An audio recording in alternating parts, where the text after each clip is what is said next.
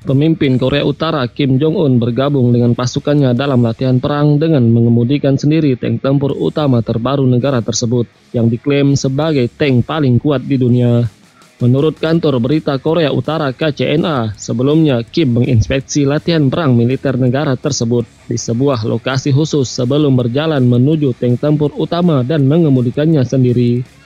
Sejauh ini, tank tempur utama terbaru Korea Utara belum memiliki nama resmi. Pemimpin Korea Utara menyatakan kepuasannya atas kemampuan tank tempur utama terbarunya dalam hal daya tembak dan mendesak personel militernya untuk lebih meningkatkan semangat dan menyelesaikan persiapan untuk berperang, seperti yang dilaporkan oleh kantor berita KCNA. Korea Selatan dan Amerika Serikat juga sedang melakukan latihan militer bersama saat ini yang semakin meningkatkan ketegangan di semenanjung Korea. Tank tempur utama terbaru Korea Utara pertama kali dipamerkan kepada publik selama parade militer pada tahun 2020. Ini merupakan kali ketiga Kim dilaporkan mengamati latihan perang militer yang dilakukan oleh pasukan Korea Utara bulan ini yang mengindikasikan meningkatnya kesiapan negara tersebut untuk berperang.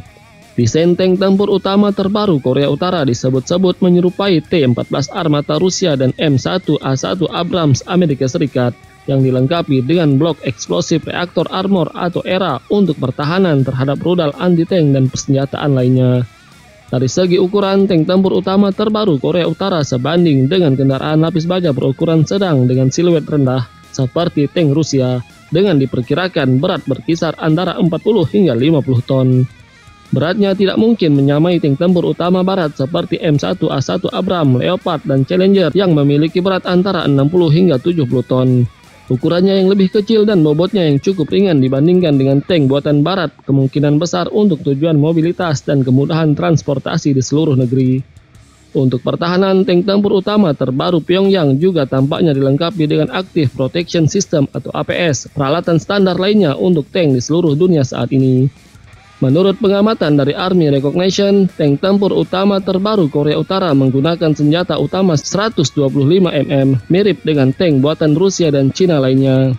Senapan 125 mm ini mampu menembakkan berbagai jenis amunisi seperti Armor Piercing Fin Stabilized Discarding Sabot atau APFSDS, High Explosive Anti-Tank atau HEAD dan High Explosive Fragmentation atau HEF. Tank tempur utama terbaru Korea ini juga diyakini dapat dioperasikan oleh tiga orang kru dan menggunakan sistem pemuatan otomatis. Selain senjata utama, tank tempur ini juga dilengkapi dengan senapan mesin 7,62 mm dan dua peluncur rudal anti-tank yang disebut Pulsai, yang disebut-sebut mirip dengan peluru kendali anti kapal lapis baja Kornet buatan Rusia. Tank tempur utama terkuat di dunia ini juga dilengkapi dengan peluncur granat otomatis.